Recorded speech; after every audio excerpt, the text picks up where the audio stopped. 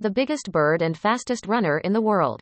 The ostrich is a family of long-legged birds originating from Africa, the largest bird with a height of 2.5 meters and a body weight of 100 to 120 kilogram.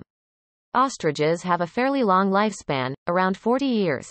They survive with a great self-protection system. This bird is quite aggressive and is capable of fighting with cheetahs.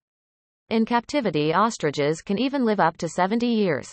An ostrich egg can weigh 1.5 to 2 kilogram. This egg is white and has a very large yolk size. Ostriches can run at a speed of 50 kilometers per hour.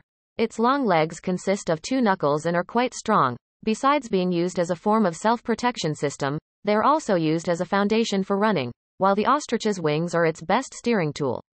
Ostriches can run in balance thanks to wings that function like brakes. The ostrich's eye is the largest of any land animal.